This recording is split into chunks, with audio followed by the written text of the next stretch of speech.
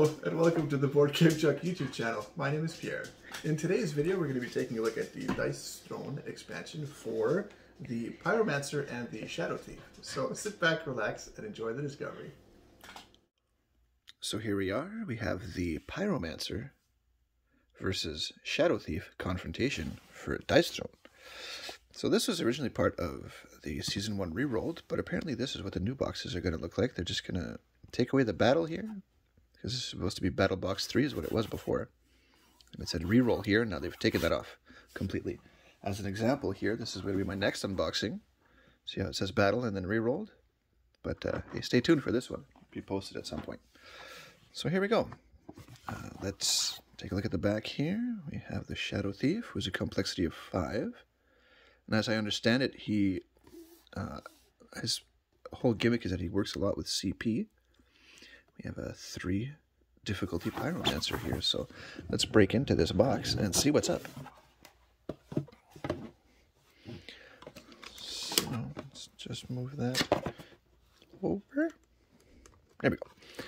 Okay, so put this to the side because it's very glary. And we'll take a look at the uh, Pyromancer here. So here she is in all of her glory. Take a look at her skills here. She's got a fireball. And she has a burning soul. Pyroblast, combustion. And then she has a hot streak. Meteorite. Ignite. Oh, and a five defensive roll here. So she'll be, uh, she can't really negate damage yet. But uh, yeah. I say yet because I don't know what the upgrade cards look like. So here we go. And her ultimate's called Scorch the Earth. Because, of course, it would be. She just wants to watch the world burn. Just like that guy in uh, Backdraft. So put that there for now so I can put it back together. And uh, so here we have what her tokens look like. Got the knockdown. Got that burn. Fire Mastery. Stun. It looks like she has, ooh, a four faces on the die. I'm surprised she's only a three difficulty then. And here we have her backstory, her bio, the bio, so here, and the rules clarifications. So the Pyromancer has only one way to deal with her enemies, swift, hot destruction. Even her defense is offensive. She is a glass cannon who deals massive amounts of damage, turning her foes to ash. I mean, I personally would not mind being turned into Ash Williams from the Evil Dead series, but, you know, that's not a big deal. So next we got her combat point dial.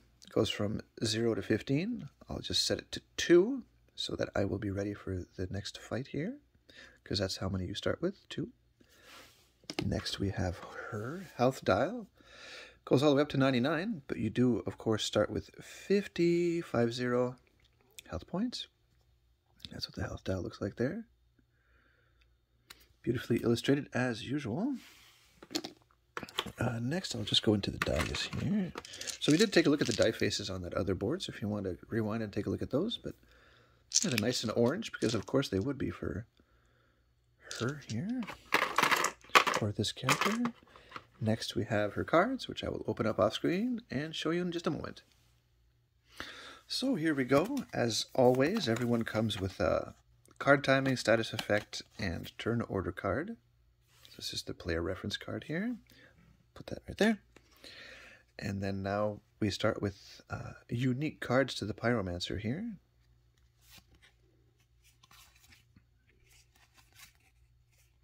Now we go into her upgrades. So we take a look here. This is Molten Armor 3.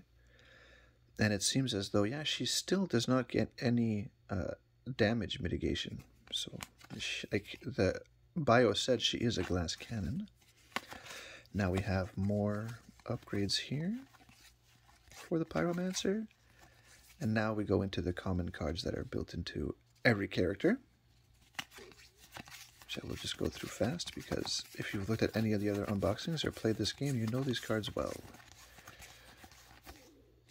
There you go. Now, if you'll allow me to just put this back in real quick. Maybe I'll do this off screen. I'll be right back. Okay, perfect. So I've done that. This like this. Next here, we have the tokens for everybody. So if I remember correctly, she had this one, this one, that one, and that one. So these would be for the the Shadow Thief, which I'm actually very excited to play because he, uh, the Shadow Thief has such a unique playstyle. Here we have some ads for the miniatures that you can use to play with Dice Throne Adventures. And here we have the uh, rules of play. So I know that this is Season 2 imagery, but um, it's the same across the board on how to play this game. So there you go. It does also have rules for the, I point these out in every video, a four-player game and a three-player game, which I think uh, if you want to play with other people, the four-player game is the way to go. Three is very lacking, the King of the Hill mode.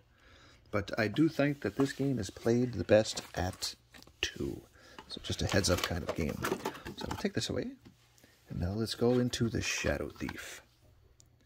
I say very excited for for this here. I forgot to do the other the back of the board for the other one, but this is what this one looks like. Let's go into his abilities here. We have a dagger strike, a shifty strike, pickpocket, so he's stealing some CP there. An insidious strike, so you just gain CP and you deal CP damage. That seems very strange. Next we have the Shadow Dance, Shadow Defensive, when a counter strike, so you'll be able to pick one of these and do it. And then a Carducopia. So you just draw cards. And his ultimate is called the Shadow Shank. So entering the shadows is my safe place. Safe place to shank you. Shank you very much. Put this down here. Now we will take a look at his token sheet here. We got Shadow, Sneak Strike, Poison. And he has one, two, three, four die faces as well. Again, he's a difficulty five, so that is uh, as indicated here. Got rules clarifications, his bio, weapon of choice, poison dagger. We got the bio here. The Shadow Thief doesn't like to end things quickly. He prefers running the long con, increasing his health, poisoning his foes, hiding and striking from the shadows. That's his style. If allowed to reach the conclusion of this complicated game plan, his victim will find themselves in utter ruin. So that's fantastic there. Next, we will take a look at his combat point dial, which goes up to 15, from 0 to 15. And we'll put it on 2, because that's how many you start with. And next, we got the health point dial. Very nice art on there. And you do start with 50 health points. We'll put it like that. Next, we have the die faces.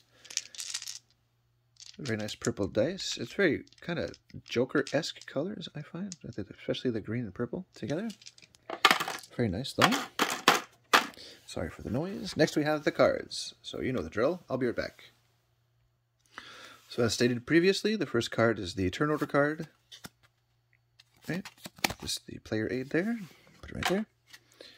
And next we go into the unique cards to the Shadow Thief.